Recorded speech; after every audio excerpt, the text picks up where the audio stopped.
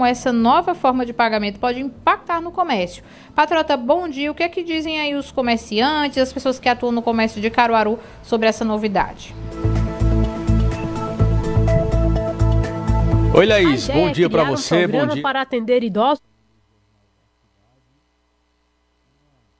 Novidade que tende né, a facilitar ainda mais é, as vendas no comércio, principalmente nesse período de fim de ano, né, onde a economia fica aquecida e o Pix já caiu no gosto do brasileiro tem um tempo, né? Só no mês passado, em um dia só, foram mais de 227 mil milhões né, de transações, um recorde da, do Pix.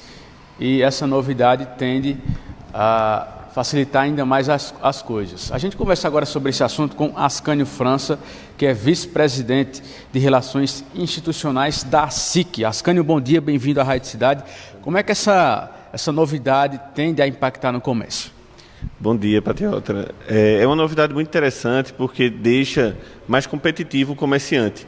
Né? A partir de agora, ele pode executar pagamentos ali de uma forma muito mais rápida, muito mais ágil, sem depender tanto de, um, de uma estrutura externa ou de um crédito que o, que o cliente tenha.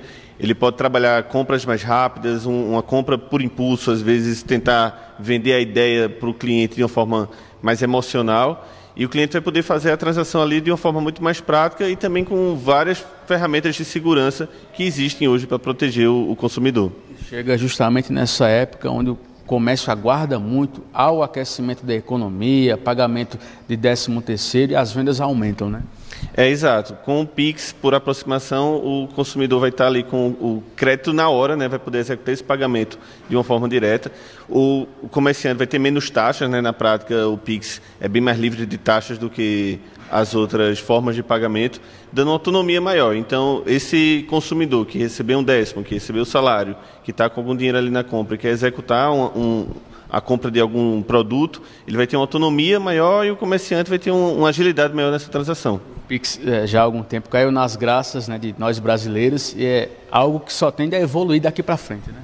Exato principalmente porque ele injeta um dinheiro imediato na economia, né? enquanto normalmente nas, nas maquinetas de cartão, nas empresas de cartão, você leva alguns dias para receber esse dinheiro em conta, né? às vezes 10, 15 dias para ter essa, essa liquidação.